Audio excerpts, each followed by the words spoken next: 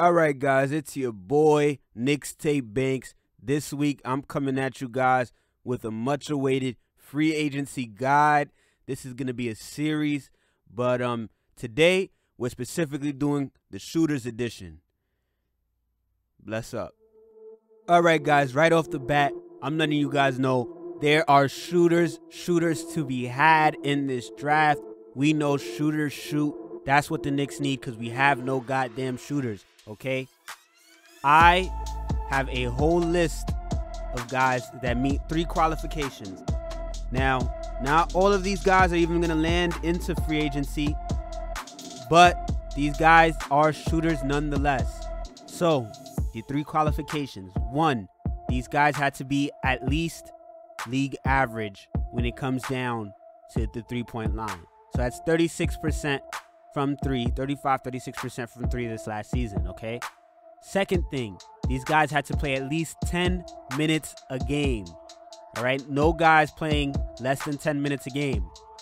Third of all, these guys had to have at least three three point attempts per game. All right? We're trying to weed out all the flukes.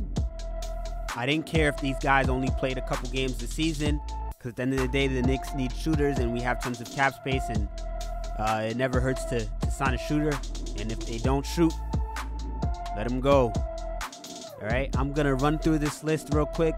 I'm not gonna give you guys too much stats because in this series, we are going to have a final breakdown video. Uh, but to avoid from it being an hour long video, I'm just gonna give you guys names and we're gonna run through them. Okay, starting off with Davis Bertans. Everybody knows about Bertans. Bertans is a shooter, power forward. He's a beast. Knicks, please sign him. Isaiah Thomas. He was with the Washington Wizards as well, but he got traded to LA where he got waived. He has mentioned he wants to be on the Knicks. Uh, a lot of people wouldn't really want him. He is a scorer. Who knows? Maybe he rejuvenates his career. Uh, but I don't know. Not a guy that I'm necessarily jumping through leaps and bounds for, but he's a guy that I'm a fan of. Um, and maybe the Knicks choose to sign him if he agrees to play that uh, veteran leadership role um, and that off the bench role. Okay. We have Jordan Clarkson. We have Fred Van VanVleet. Yet another guy, big name in this free agency. Um, he may not leave Toronto, but Toronto has a lot of guys that may be deserving of a paycheck. So somebody might have to go. Fred VanVleet, Marc Gasol, Serge Ibaka. Those three deserve a major payday. Uh, Serge Ibaka and Marc Gasol, great vets, uh, big men, guys that are consummate pros would look good on the Knicks.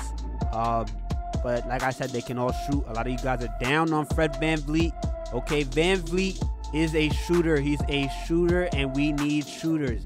Guys, please stop hating on Fred Van Vliet. I know he shoots below average at the rim, but he makes plays for other guys.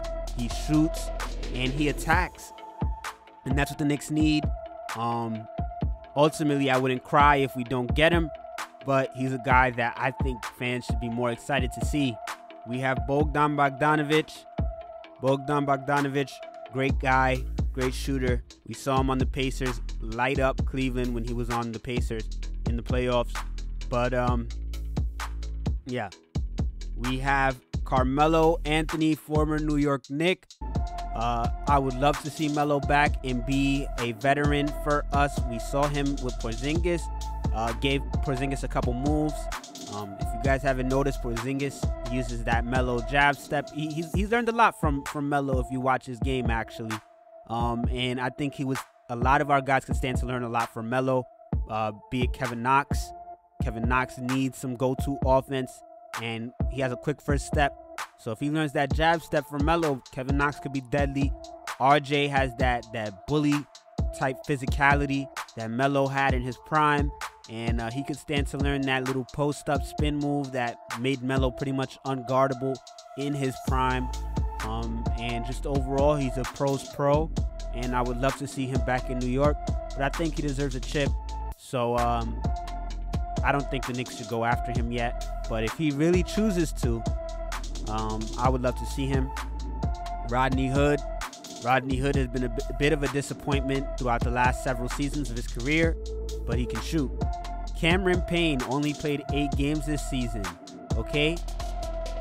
But he shot 51% during those eight games. Please show love to Cameron Payne, even if it's only off the bench. I would still love to have him. Alec Burks from Philly, Glenn Robinson III from Philly, Furkan Korkmaz from Philly. Those guys can shoot. Um, role players, they're all role players, but they can shoot. That's what the Knicks need. Evan Fournier, okay? Evan Fournier, he is a shooter, scorer, and um, we all know about Evan Fournier. He may choose to stay uh, simply because with this whole COVID 19 thing, salary caps are lower and teams are trying to cut expenditures due to their pockets hurting. But should he decide to leave, we all know Evan Fournier gives us a scorer, he gives us a shooter, something the Knicks lack. Danilo Gallinari, yet another shooter. Um, Mike Muscala, another underrated shooter. Now on the Knicks, we have our shooter, Damyean Dotson. Now Dot, free Dot first of all. He is a defender. He's a shooter. He's not afraid to put the ball on the floor. He's a guy that I think a lot of fans wish they would have saw more of this last season and someone that we wish we would have developed. I mean, still a young guy, um, and we hope the Knicks re-sign him.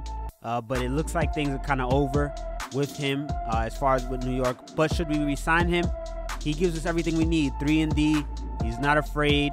Um, and although he had a down year this year, uh, I think if he's given consistent minutes and a team that really believes in him, he can really be an impact player in the NBA. Um, Brandon Ingram, I don't think that the Pelicans let him go, but if they do let him go like idiots, uh, he's a scorer. He can move the ball. He can rebound. Um, you know, he's a future superstar, and he can shoot the ball. E'Twaun Moore, teammate to Brandon Ingram.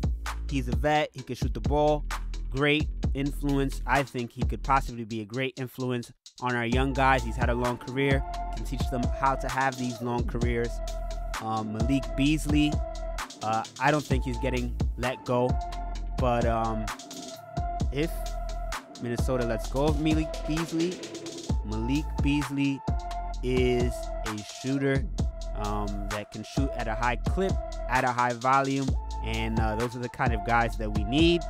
Kyle Korver.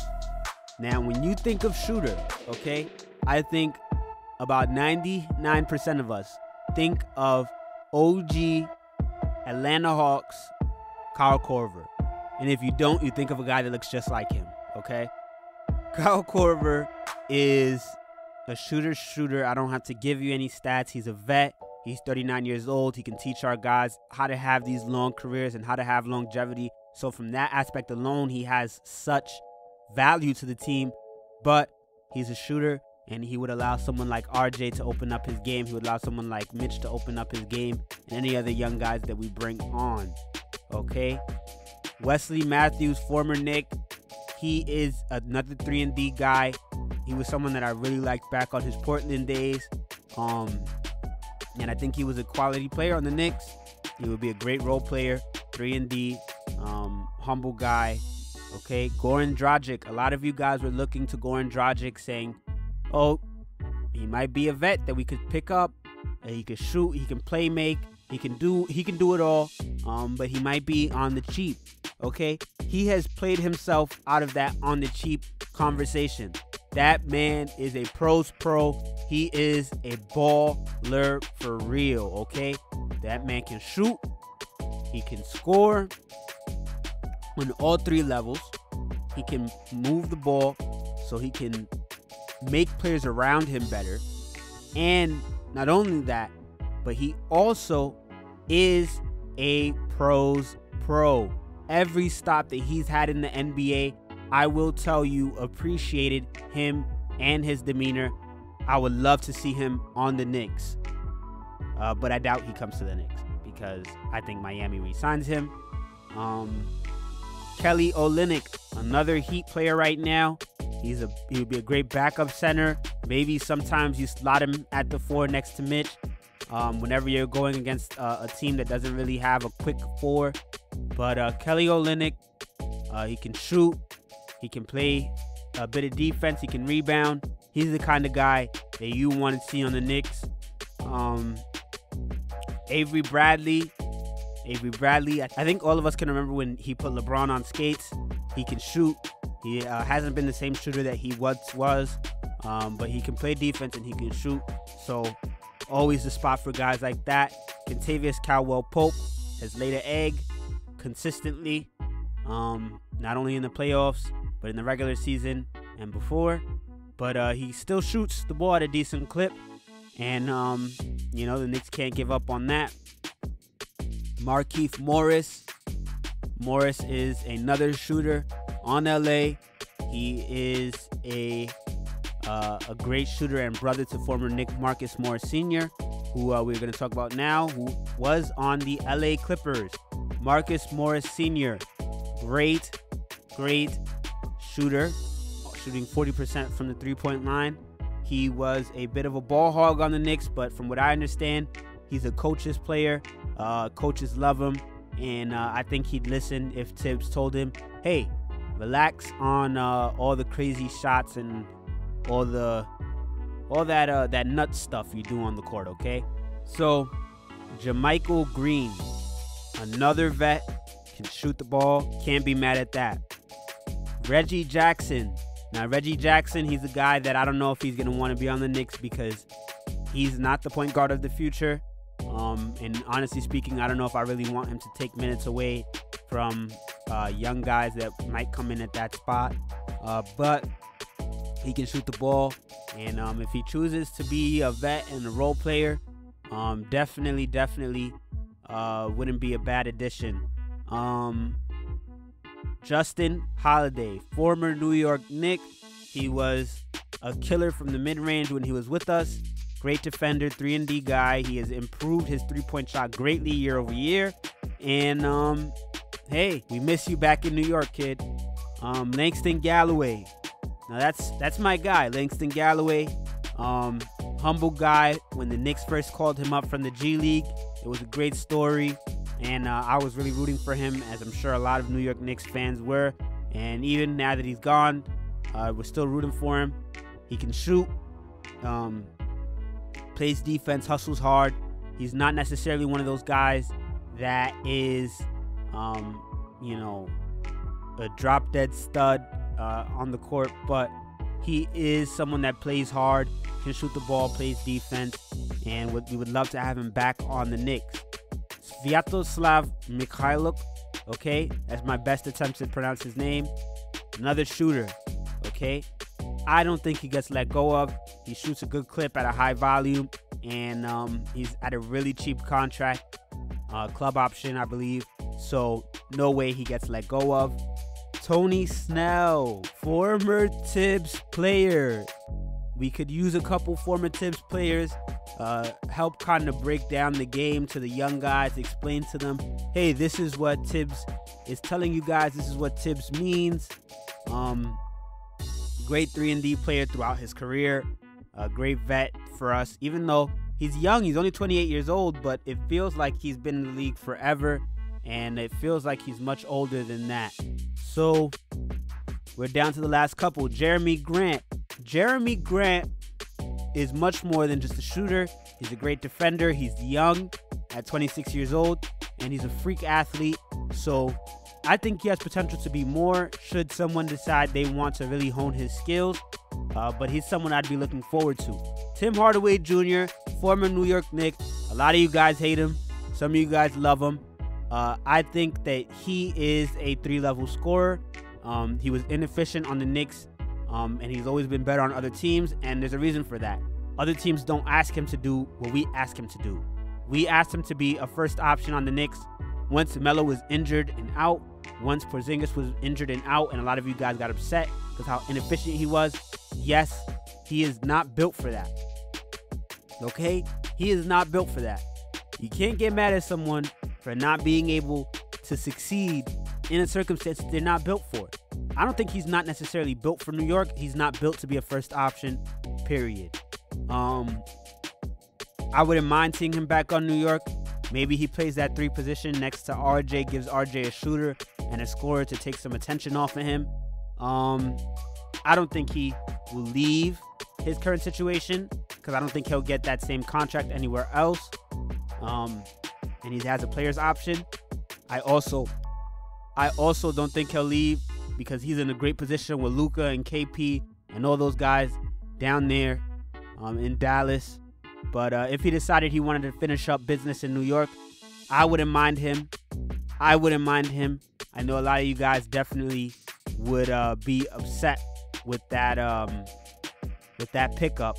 Otto Porter Jr. There's almost no point in talking about him because he has a player's option for his ridiculous 26 million or 27 million dollar contract, which he's nowhere near worth. Not to Chicago, not to New York, not to anywhere.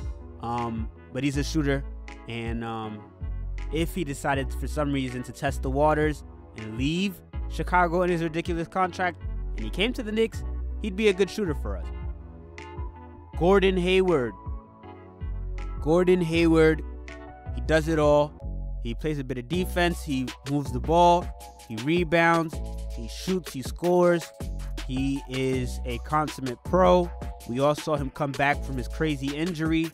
Um, I like the guy. I don't think he comes to New York, especially when he has um, another year at over 30 million on table for him. That's something New York can't provide him. But hey, you want to come to New York? Arms are open, okay? Joe Harris. Now this is a shooter, okay? Joe Harris is a shooter. We need guys like him. Um, if he comes to New York, you already know we haven't won a chip in a long time, so we're gonna throw a Joe Harris parade. Uh, being on uh, the Nets doesn't count. That's not the New York team. So, thank you guys for watching the video. Uh, it's a bit long, but the alternative was for it to be an hour long and me breaking down each player, which I did record. Um, make sure you guys like, make sure you guys comment. Tell me what you guys think about any of these guys. If you've even heard of any uh, of all these guys, which one of these guys you weren't thinking about but stands out. If I change your opinion on any of these guys, uh, make sure you guys subscribe, hit the notification bell so that way you guys get notific- notified when I post. Um, and you know, shoot or shoot, we need that. And look forward to this series continuing as I break down the 2020 off-season targets. Bless up.